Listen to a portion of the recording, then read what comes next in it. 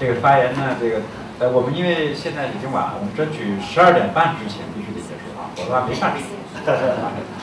的，这个啊，呃，首先呢，就是。还是。感谢就是。那个会议邀请方的这样一个呃邀请。最近几年呢，就是。每次都能来参会，确实对我来说是。一个非常好的一个学习机会。而且作为一个年会啊，能够就是。坚持那么多年啊，十三年啊，确确实一个非常了不起的一个成就。啊，呃，我的这个分配给我这个发言题目啊，就是谈美国的因素啊，就是美国对外经贸战略的一个调整对中国的影响啊。我也准备了一个东西，我讲的就大概的要点呢，向大家提示一下。啊，我想呢，主要是来讲第一个呢，就是说是美国对外经经贸战略的一个调整问题有什么大的变化。那么关键是动因的分析啊。第三个呢，就现在啊，就被称之为所谓的呃 mega regional FTA，巨型 FTA 呢，就对未来有什么样的影响？啊，如何评估美国的这种变化？最后一方面呢，就是对中国有什么样的一个影响啊？呃，美国呢，长期啊是奉行的这个多边主义的这样一个战略啊。我们从看到从这个呃多边这个贸易体制的两个阶段呢，都看得非常明白啊。呃，可以说每次关键的谈判啊，除了这个呃多哈回合谈判以外，那美国呢是在这个方面呢起了一个非常大的一个作用啊。对于这个整个贸易规则的不断提升啊。应该说是起到一个呃非常重要的一个引领作用，呃，但现在这个情况来看呢，就是说，呃，是在呃从目前来就是美国的这样一个所谓领导的一个动力啊啊，实际上实际上是在下降的。我们看呃多少回合谈判呢，建议僵局啊，美国和这个主要的发达经济体呢转向就是啊地区主义，那么对全球贸易的这样一个呃这种整个格局啊产生很大的影响。刚才已经谈到了有 TPP 啊、TISA 啊、TTIP 等等的这样一个谈判啊，就是和这个过去十年来啊，就是呃以这个发展中啊新兴经济体为代表的这样一个发展中国家的这样一个崛起啊，对全球经济啊、全球经贸体制的这样一个呃这样一个呃全球这个经贸格局的改变呢，我想是一个最重要的一个因素啊。那么从现在这个呃现在已经这个呃。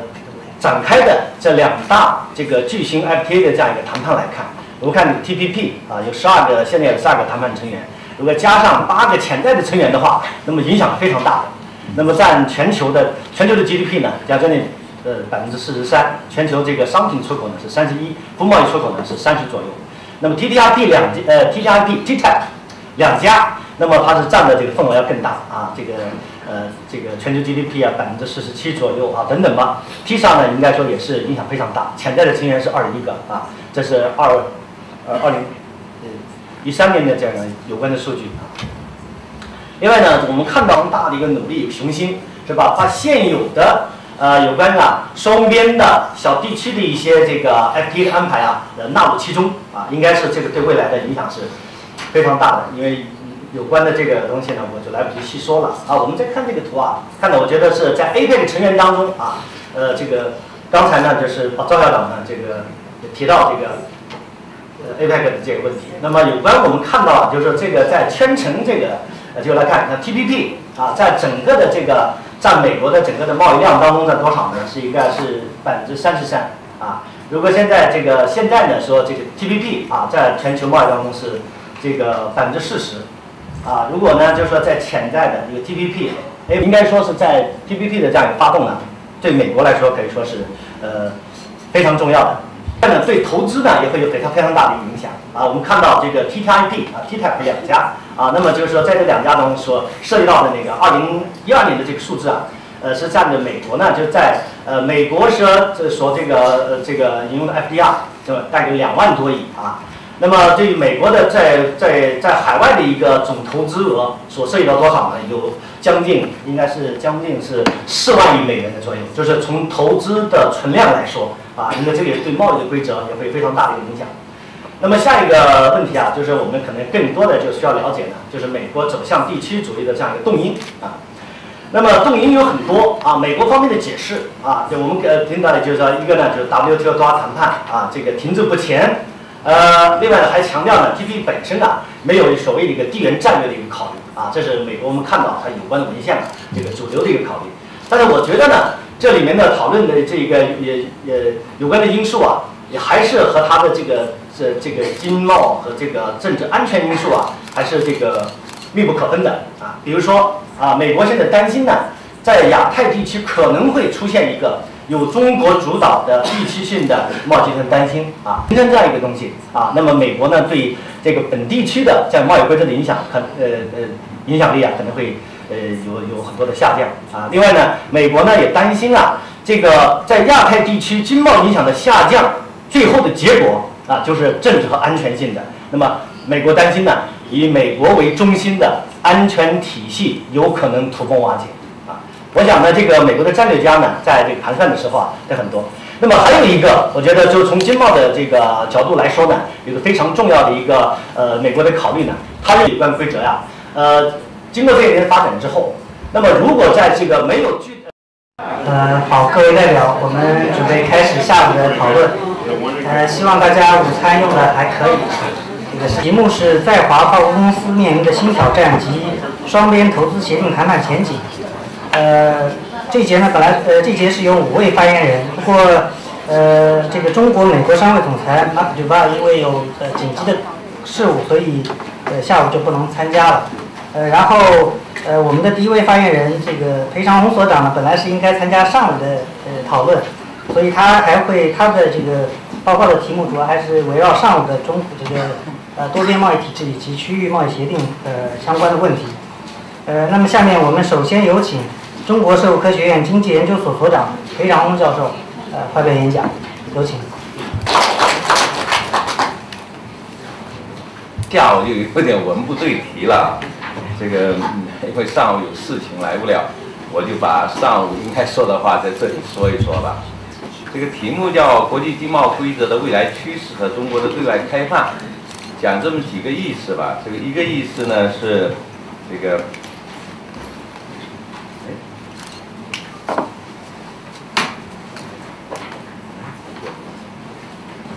啊，呃，对这个，首先是对二零一五年啊，明年啊，世界经济啊，做一些初步的判断。这个中央经济工作会议刚开过，对于明年的世界经济啊，有有这么几句话，一个话叫全球总需求不振，啊，第二句话说明年呢，二零一五年呢可能会略有啊略有好转，但难以改变，呃，这个复苏疲软这样一个趋势。按照这个呃国际货币基金组织的预测呢，呃，明年的增长速度啊是陷入叫平庸增长。十月份国际货币基金组织给给现在世界经济的复苏啊起了一个名字，叫做平庸增长状态。呃，总的比呢七月份的预测啊都要低很多。那么这和我们这个呃中国。中央经济工作会议的一些判断是相吻合的，这是一个打开的一个情况。特别是最近呢，欧洲央行全线调低了未来三年的经济增长预预期。这个整个欧元区啊，这个明年的这个 GDP 可能增长也只有一点零，今年的话只有零点八啊。那么和以前的预测相比啊，都是调低的。所以给我给出我们的前景，明年的增长会很乐观，呃，可能，可能只是比，为什么会选？好啊，啊，这是对世界经济的一个判断。这个，那么，呃，欧洲的情况当然也是不是很乐观。这是第一个判断，给我们的一个主体是二零一五一五年。可能会比二零一四年略微好一点，但是呢，复苏疲软的态势啊是难以根本改变的。那么世界贸易啊，世界贸易呢情况可能更不乐观。呃，这个国际货币基金组织也好，他们的预测呢是，呃，国际货币基金组织预测呢是二零一四年能够增长三点八，但国际货币基金组织一般都是说的高。WTO 预测呢是三点一。我看呢，可能啊，都啊，都都达不到，因为今年这个今年的这个呃第三季度的时候，WTO 网站披露了今年上半年世界贸易的增长情况，无论是就货物贸易的出口和进口的增长速度都没有超过百分之二，啊，就是今年上半年的实际的业绩啊，无论是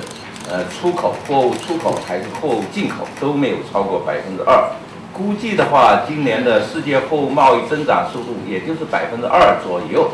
啊，百分之二左右，可能今年会成为第三年世界贸易低于世界 GDP 增长速度的现象。啊，过去呢，过去的话，国际贸易学里面有一句话啊，有一个外国人讲，说贸易是增长的发动机，啊，现在看这个发动机啊，可能要熄火，啊，那么为什么这个世界贸易会出现这样一种现象？这个是需要研究的。当然，解释它，呃，我这里因为没时间，就不去解释它了，啊。嗯，当然，流行的解释是一个国际金融危机的阴影，各国性的通缩啊，这个是比较通常的解释，对现象的解释啊，这个深层次的解释这里也没时间说了。第三个判断是关于新技术革命，新技术革命呢，应当说呢，在智能制造、新能源、新材料、新一代信息技术这一方面有多点突破这样的特征，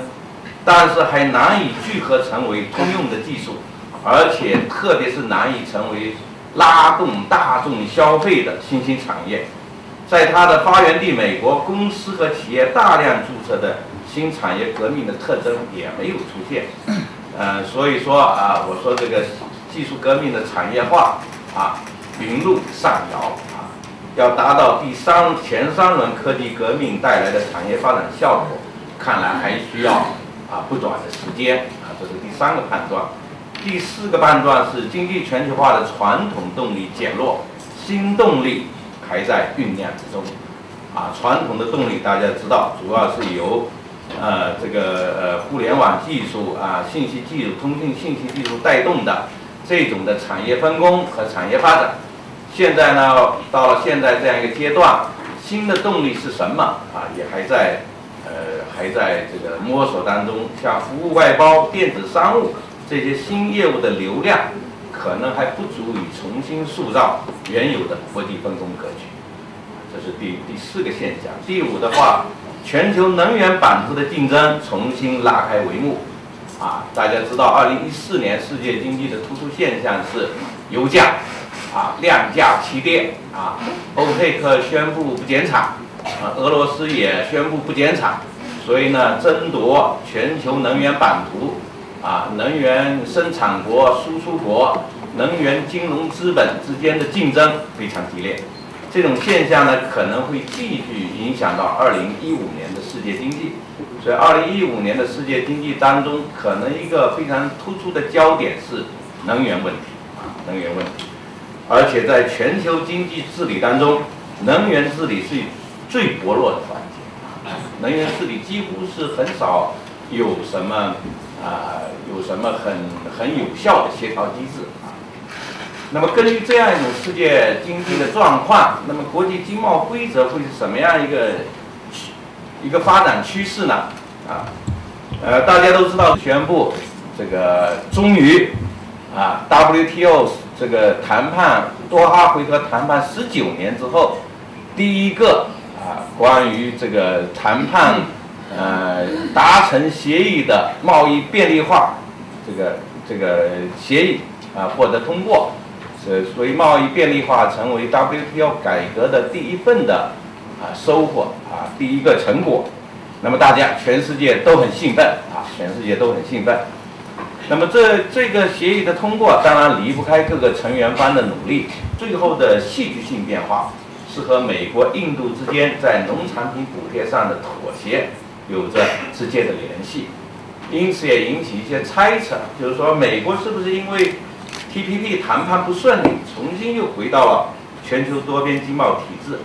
啊，他会不会因为那边谈判不顺利，就回到多边来？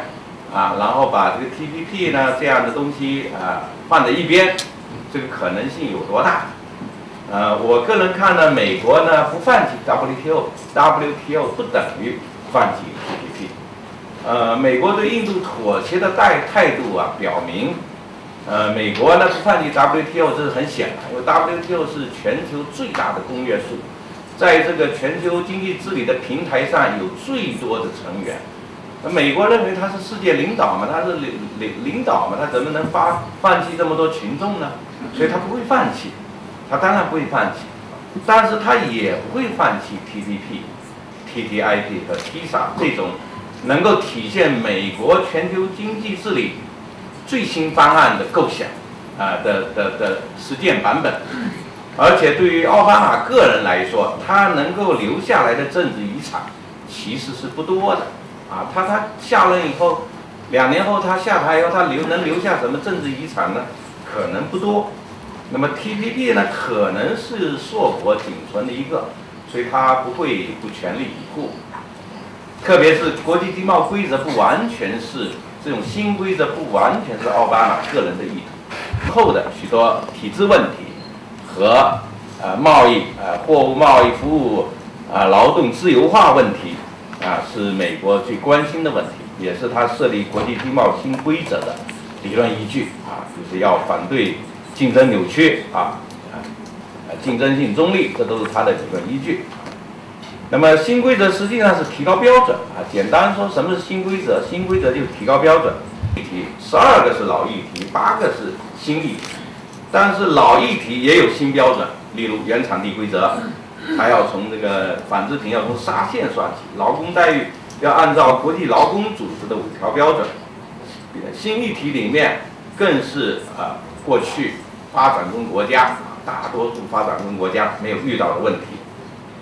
那么这种的要求，当然在当前区域合作潮流下，啊，呃，它出现不是偶然的，因为确实从。呃，WTO 成立以来啊，区域之间的贸易自由化的安排大量涌现，啊，像 WTO 这个呃申报的啊通报的协议已经达到三百七十九个，而且呢百分之七十啊是最近十年里面成立了，在这个新潮流下，美国呢也可能不会要求谈判所有的问题都解决，也可能达成一个框架性协议。所以，二零一五年啊，我个人认为，二零一五年啊，可能啊，呃，美国会在 TPP 问题上会有一个啊，达成一个呃，这个和合作伙伴有一个框架性的协议，这个是可能的啊。那么这就出现了这个一方面是全球贸易自由化安排广覆盖啊，高标准和全球多边体系并行这样一个局面啊。因此，两者之间的相互影响是不可避免的。人会决定里面，啊，我们已经重申了，我们要坚持世界贸易组织啊体制规则，这个是主渠道，是肯定的。但是我们也要看到，WTO 受到 TPP、TP、TTIP 的挑战也是不可避免的。尽管 WTO 规则仍然是全球最大的公约数，但不排除区域高标准自由化安排对 WTO 的影响。啊这种影响也是不能排除的，因此呢，WTO 除了将贸易便利化改革纳入多边规则体系外，也应当思考如何进行包容各类标准的自由化协议的改革措施。这种相互影响啊是不可避免。那么从这是从这个经贸规则，那么从这个其他的规则来看，比如说国际货币体系规则，这个变化趋势。那美元为主导的国际货币体系和国际货币基金组织为平台的规则体系，在相当长时期内不会改变。但随着新兴市场经济体力量的上升，随着国际资金融市场波动的不确定性增强，以区域安排为特征的双边、多边的货币稳定机制和新兴经济体货币为储备的多元储备体系将会进一步加强。大家可以看到，这些年啊，中国和许多国家开展的双边的货币互换，实际上就是这种以储备多元化为特征的这种的储备体系会会变得比较流行。那么，强化资本流动的监管会成为规则体系的进一步完善的要求。啊，这是国际货币体系的变化趋势。国际投资和开发金融规则体系也出现新变化，那么这当然是和中国最近的一些啊一些这个呃呃扩大开放的措施有关。大家知道，我们正在进行中美、中 A、中欧的 BIT 谈判，这会酝酿新的国际投资规则。那么谈判结束以后，这个协议可能要替代 WTO 原来它有一个叫做与贸易有关的投资措施协议啊，因为在 WTO 里面有一个与贸易有关的投资措施协议。那么中美、中欧的 BIP 谈判现在正在进行，中美是第十七轮谈判了。那么我相信也在不远的将来，它也会结束啊，也会达成协议。那么它对于 WTO 呢，也会产生的规则体系也会产生影响。那么在国际开发金融体系当中，世界银行的主导地位不会改变，但是随着金砖银行、亚洲基础设施投资银行以及丝路基金。这些国际开发性新金融机构的出现，啊，这都是中国对外开放措施和新的课题。这种国际开发性金融的规则体系也将发生新的变化。所以这个问题呢，是中国参与全球经济治理当中一个新问题啊，新课题，就国际投资和开发金融规则体系。那么中国对外开放战略啊，最第最后讲一点关于中国对外开放战略。是中国开放型经济体系，构建开放型经济新体以后，中国对外开放的战略目标来看，对外经贸发展。所以的话呢，可能我们在呃考虑这个问题的时候，中国的吸收外资增长了多少啊？中国的这个呃呃嗯投资呃对企业对外投资增长了多少啊？可能不是这样的一个视角，可能这种呢只是只是。其中的一个，或者说不是那种单纯的数量要求，呃，因为从互利共赢的政策含义是一个是要促进进出口贸易平衡啊，重视进口贸易在改善贸易伙伴关系中的同时，促进国内经济建设发展；第二，促进中国企业扩大海外投资，是增进东道国的福利；第三呢是发展区域开发金融，增进与周边国家基础设施互联互通，建立丝绸之路。海上丝绸之路的经济联系，参与全各类的全球经济治理，包括未来参与能源的全球经济治理。所以互利共赢的政策含义啊是呃多方面的，所以可以呃可以这样说，中国未来的对外开放，我们如何评价它啊是一个新的问题啊不可能这个尺度啊这样一个评价标准和过去是不一样的。按照十八届三中全会和中共十八大的要是这种的开放型经济体系是不是真正做到互利共赢？啊，呃，多元平衡、安全高效？呃，我们的开放型经济新体制是不是已经建立起来？啊，能够和国际经贸规则、金融规则能够接轨？当然，像中央经济工作会议里面讲的，对外开放也要寻找新的。增长点，所以总结起来，未来我们这个对外开放，这个是目标啊，应该是两个啊，一个是呃规则体系的变化啊，改革和规则体系的变化啊，第二就是是否培育了新的增长点啊，我就说这些，谢谢。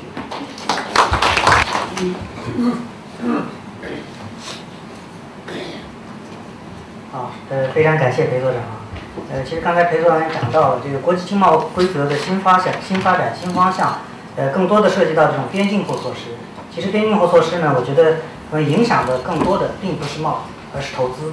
这研讨主题的一个非常重要的理由。那么下面呢，我们就呃有请这个对外经贸大学竞争法研究中心主任、中国著名的反垄断法专家黄勇教授谈一谈这个反垄断呃中国反垄断法实施对这个外资企业的影响。啊，有请。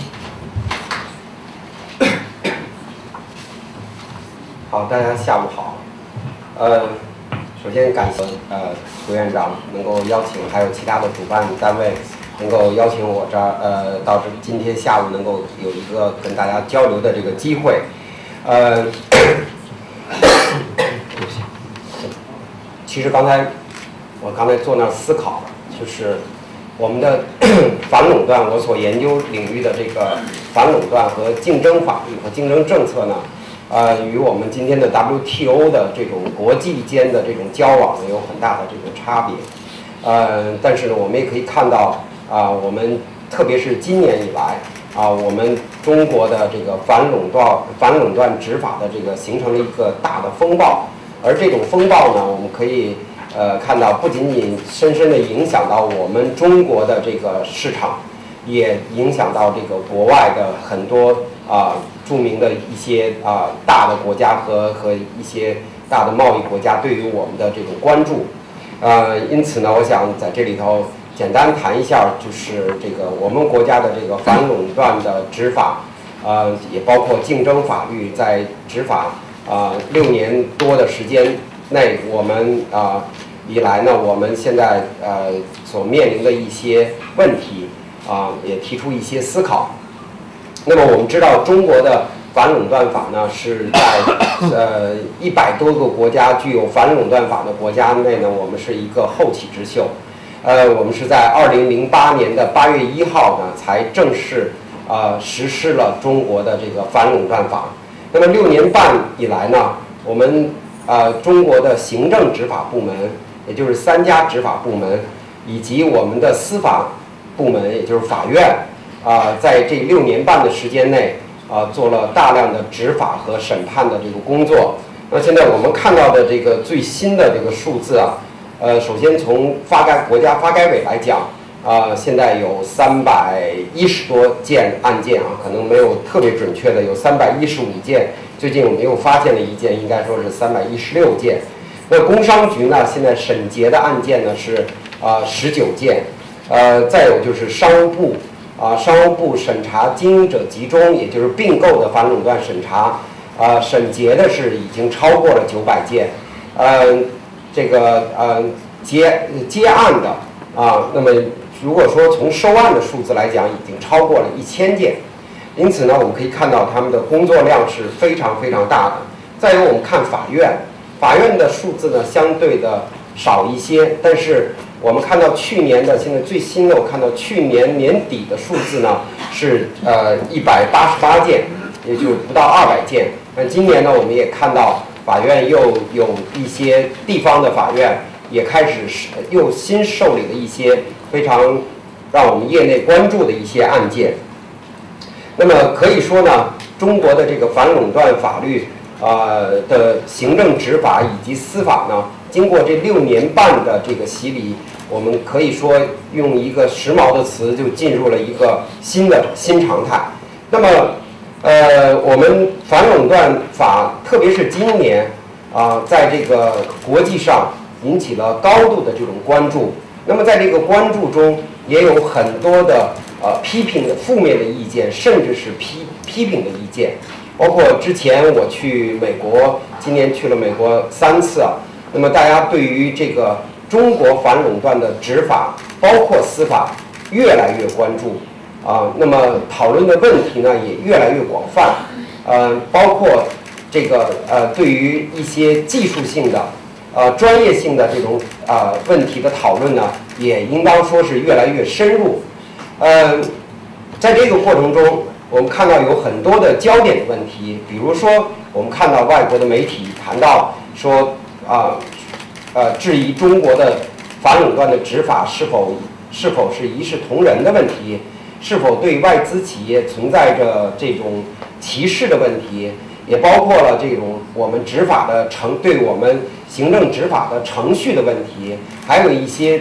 对于我们的专业性的呃质疑问题等等啊。那么，其实我个人认为这是一个非常好的现象啊。那么，我们想提升一个领域的这个法律它的这种关注度啊，就是它的这种执法的这种技术性的提高，执法程序上的更加公正。以及特别是一部法律，它应该本有的这种它的地位和实现这种法律的宗旨，这种关注度啊越高，可能是越有利于这些方面的这种发展和提升。嗯，其实我们回归了过来，我想今天谈几个问题啊。嗯嗯，我自己的个人的一些感受啊，一个呢就是说，我们现在讨论这么多。甚至有有很多负面的这种批评的意见，所以我觉得六年半的执法，我们更应该去首先一个问题，更应该回归到这个法律的立法的它的宗旨是什么，它的立法的本意是什么。那我们可以看到，就是反垄的中国的反垄断法，尽管是后发啊执法、制定和执法，但是它有一个特别大的好处，就是首先证明了我们国家它的市场化的程度在不断的成熟。为什么？因为我们看到国际上一百多个国家的这种经验啊，我们最早追溯到一百多年前。一百多年前的一八九零九零年的美国的谢尔曼法，啊，那么我们可以看到，凡是有反垄断法的这种制度的这种国家，它的一个共性就是它的市场化的问题。如果说是在一个计划经济下，谈不上反垄断的问题，计划经济就是垄断，是吧？它就是一种经济上的垄断。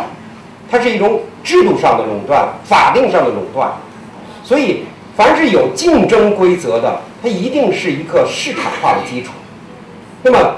我们国家的既定目标就是社会主义市场经济，因此你要想实现市场化的这种成熟，一定要有竞争规则，一定要有竞争的法律。那么，尽管我们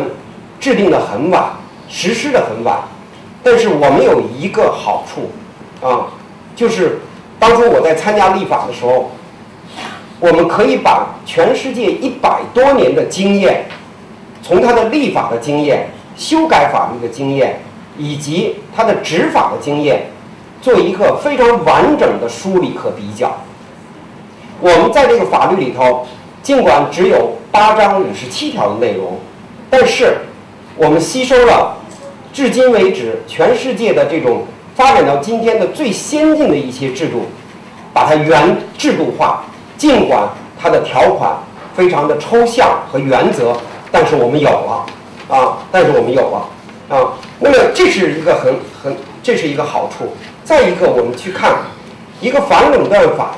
它跟我们今天所讨论的主题 WTO 的这个啊规则是有很。很大的一个本质上的区别，各国的反垄断法都是国内法，它区别于国际贸易，区别于国际投资，因此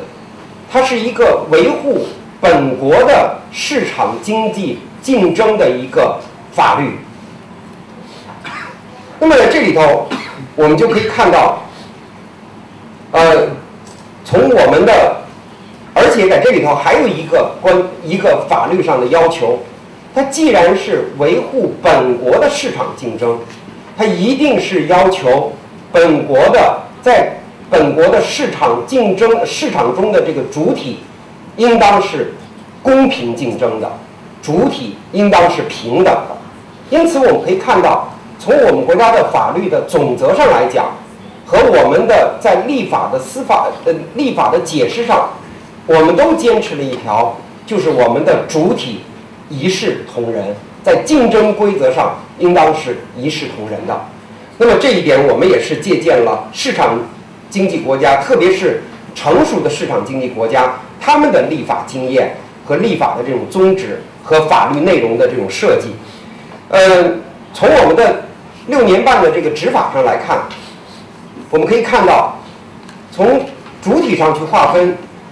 我们可以看到，既有中国的企业，又有外国的企业，既有国有的企业，包括了央企、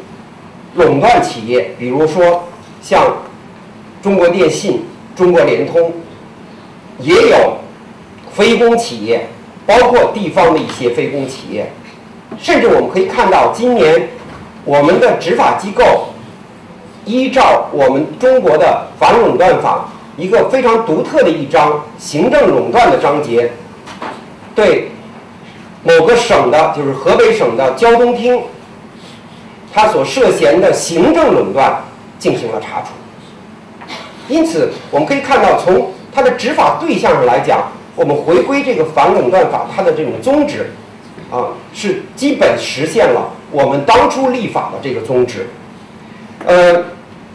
尽管是这样，就尽管它是一个国内的法律，但是每一个国家它的反垄断制度都有域外管辖的效力，也就是发生在国外的一些涉嫌垄断的行为，只要对于本国的市场竞争秩序有影响，本国都可以有管辖。体现在我们最多的涉及到我们可能外商利益最多的，就是可能两个美国公司的并购，或者一个美两个外国公司的并购，比如说微软并并购摩托呃并购诺基亚啊，Google 并购摩托罗拉，它是完全两个外资的公司，但是他们在中国的有业务，同时它会影可能会影响到中国市场的竞争秩序。那么，我们的商垄断执法机构之一就可以对它进行管辖。那么，同样的，我们也可以看到，美国它的法院依照美国的反托拉斯法，在美国起诉中国的维生素 C 的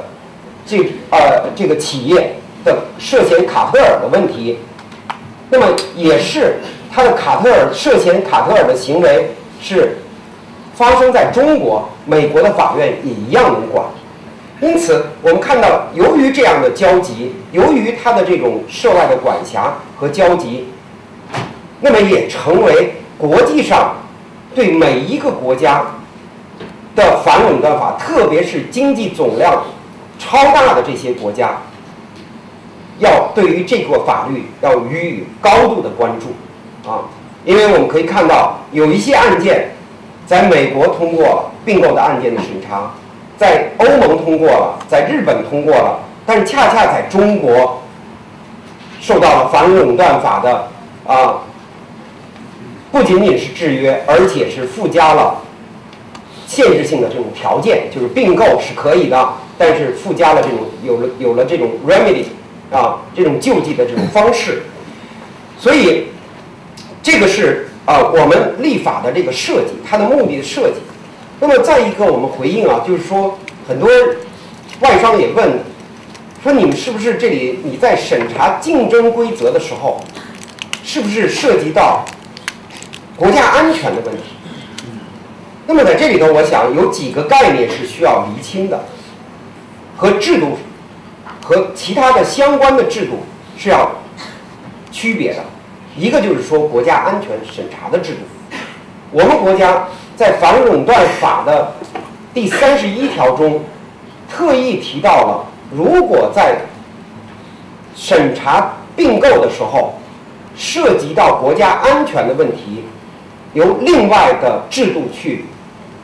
管辖。那么也就是说，我们国家实际上是采取了很多市场经济国家。它的一个准入制度，就是我们建立了一个，要建立，现在已经建立了国家安全审查制度。同时，第二个含义是，国家安全审查的制度与反垄断的审查制度，就是并购的审查制度是两个不同的制度。啊，那么现在我们看到，实际上已经把它分开了，是两两套不同的程序。但是有没有交集呢？肯定有交集，就是你的这种并购，因为。关于安全审查的问题，实际上它跟反垄断有一些区别，但是有的时候是竞合的，在主体方面是竞合的。国家安全它主要是外国投资者去并购、去投资、控制中国的在中国的这个企业。你看，它是一个外一个中，那么反垄断可能它的范围是更广的，但是它的根本的不同是它的审查的内容和程序的不同。再一个问题就是贸易政策，就跟我们今天有关系的，它是两套不同的制度，一个是国内法，一个是国际贸易规则。当然，有一些国际贸易规则也转化为国内的法律，但是它有一点有可能交集，是什么呢？就是我们用维生素 C 的这个案件来看，就是你出口卡特尔，或者是进口的卡特尔，它是一种贸易行为。但是，如果你违反了本国或进口国的反垄断法的话，反垄断法依然可以管辖。尽管我们国家的第十反垄断法的第十五条对于我们国家的外贸出口是予以出口的卡特尔是予以豁免的，但是我们也无法去得出结论，美国或者欧盟它就不能依照美国和欧盟的法律反垄当地的反垄断法来调查或者起诉，甚至调查我们国家的这个出口的卡特尔啊。但是这在这里头有一个交集，这是第一个问题，我们要回归反垄断法的它的这种立法的宗旨，啊，那么第二个问题，每一个国家，就是很多人又质疑啊，说，哎，为什么你在美国我这个并购能通过，在欧洲也能通过，那为什么一到中国来就通不过？那么我们分析了几个案件，啊，我们可以看到有一个特点，实际上是共性的，但是在中国可能就是一个特性的东西。它的这个特点就是说，每一个国家的反垄断法的执行，他关注的是本国市场的竞争状况。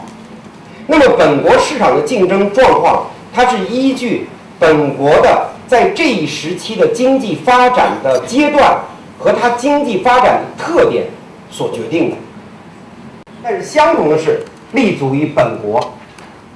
我们我简单的提几条，一个是我们国家依然存在着很多领域的管制业，而在这一点上，我们的反垄断法有一个特殊的条款，第七条。但不管怎么样。这是我们国家向成熟市场经济过渡过程中的一个现实的问题。我们首先说，一提垄断就是七大垄断行业，啊，这个问题是一个国家它的经济市场化的一个自主的选择。当然，我们现在看到，可喜的看到三中四中全会，特别是三中全会，对于这些垄断行业。管制行业要逐步的去引入竞争机制，强化它的竞争的理念，这是一个好的方向。但是现实是它依然是一个管制。那么我们看到管制是两个两大特点：第一，准入，我反垄断法管不了，这是你国策的选择；第二，价格。是吧？这两个两个因素，可以说它是垄断行业或者叫做管制行业，啊，我们很多经济学家呃，就一一些人就认为说，包括领导人说，哎，我们不存在垄断啊，比如我们石化行业，我们有三个企业呢，是吧？我们银行不垄断啊，我们有那么多银行。垄断不垄断？从我从我们从研究法律和管制上来讲，实际上是我们就要看它的准入是不是放开的，价格是不是放开的，这两个因素，是吧？所以这是一个中国的特点，就是你外商要到中国来，这个问题你要去考虑这个问题。再一个，在很多的竞争行业啊，啊，这种非垄断的，就是非管制的行业，我们看到很多的行业。我不能说所有，有很多的行业，外资跨由于我们的开放政策，外资进入我们的市场，它占的市场的比重是非常大的。我没说它垄断啊，占占的比重是非常大的。对不起，嗯，那么在这里头，如果他要去并购，那么可以看到，这就是我们执法机构的一个。特殊的关注就是我们本身市场的一个关注，再一个我们可以看到，在很多的产业价值链上，我们是处于下游，啊，那么这也是一个特点，还有一些要考虑的，比如说表面上是竞争的，但实质上又是很多管制的行业。我们用最简单的，我们要吃药，医疗医药行业，大家知道进口。很多的管制，再有采购，招投标，终端的价格发改委定价，到目前为止啊，很多价还没还没有改。还有一个很重要的问题，你不能拿美国的市场的规则去状况来衡量中国市场规则的其中重要的一个因素就是我们看病有多少人在私立医院去看病，我们是公立医院为主导，是吧？而且我们的社保公费医疗占的比例远远大于商业保险，这就是一个特色，发展阶段。同时又是我们特色，这是需要考虑的。第四个问题，呃，第三个问题，简单讲，对不起啊，这第三个问题就是我们现在要看到中国的六年半的这个反垄断的执法的发展，我们已经看到，过去一开始的案件是非常赤裸裸的表现，和非常对于执法部门来讲比较简单的这种卡特尔。和纵向的价格限制，而现在我们看到，只有六年多的时间，我们现在所正在审理的案件，它的这种复杂程度、专业程度，已经与全世界同步了。这个给我们的执法机构重大的挑战。比如说，现在所调查的微软和高通的案件。它不仅仅是一个复杂的涉嫌滥用市场支配地位的案件，而且它涉及了 IPR 的问题、知识产权的滥用的问题，还涉及到标准中的知识产权的滥用的问题。那这些又是对于我们的一个机构的一个很大的挑战。可喜的是，我们的法院最高人民法院今年刚刚审结的。三 Q 的案件，两个互最著名的互联网公司的涉嫌垄断的案件，终于二审结束。那么在这个案件里头，我们看到，我们要有信心啊！如果大家去拜读最高人民法院的他的七万多字的判决书的话，我认为亮点太多了。首先就是一个过程的专业性，审判的变。它的这种规则的先进性，而且跟国际上完全接轨，甚至在很多问题上，我们国家是独特的。很多经济学的理念和一些最先进的一些方法和理念，都在这个判决里头体现。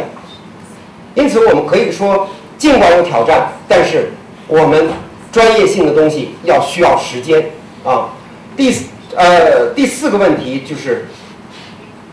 涂涂院长给我。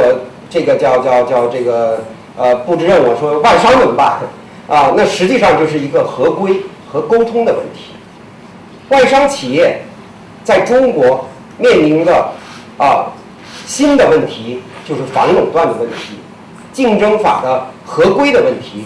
那么在这里头，我觉得还是一个除了共性的东西是西方国家非常的成熟，他们的律师团队和专业团队也是非常成熟。的同时，还是要关注一个问题，两个层面问题。一个层面是法律中的特殊性的问题，比如刚才我们谈到第七条的对于垄断行业特殊性的规定。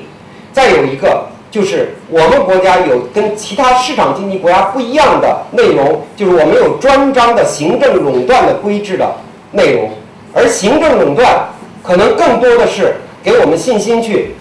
你你作为商业企业。你可以去告政府，你可以去挑战政府，在我们的法律里头是有涉及的。再有，还有我们的一些法律责任有一些特点，比如说，在很多国家，绝大多数国家我看到是没有违法所得，除了罚款以外，以外没有违法所得。而我们国家除了罚款以外，还有违法所得的规定。那么这也就是。我一直认为，我们国家的反垄断法律的它的法律责任的行政罚款，可能是所有的行政执法里头最高额的，上一年度的百分之一到百分之十，再加上违法所得。嗯，还有第二个方面的沟通，就是执法方面的沟通。那么执法方面沟通这里头，我们国家特点是三家执法部门，美国是两家，我们是三家，可能是全世界最多的。你沟通起来就需要时间，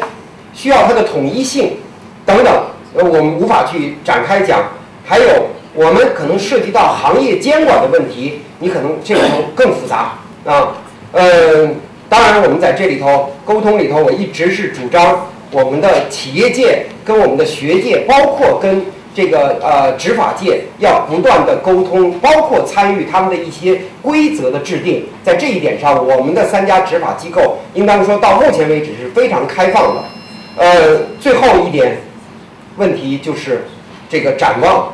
呃，我觉得我们的六年多的执法可能还存在着很多的问题。它是一个年轻的执法的呃国家的一个部门。那么在这里头，我们期待着能够进一步去落实三中和四中全会，以及我们行业所关注的国务院今年的二十号文和中央经济工作会议有关于竞争以及法治、竞争法治，包括行政执法的。